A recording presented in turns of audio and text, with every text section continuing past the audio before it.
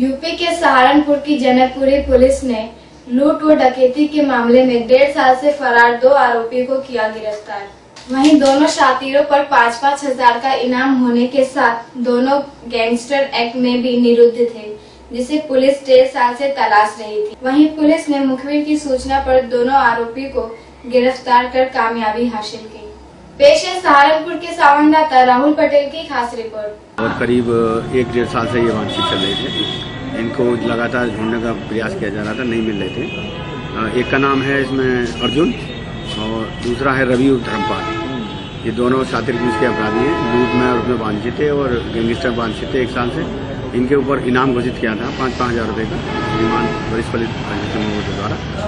तो इनको गिरफ़्तार कर लिया गया है गिरफ़्तार करके जेल गए। कहाँ से पकड़े गए? कहाँ रह रहे थे? ये इनका जो जो रहने वाले ये दे, एक देवबंद का है और एक मुजिम है ज्वालापुर का।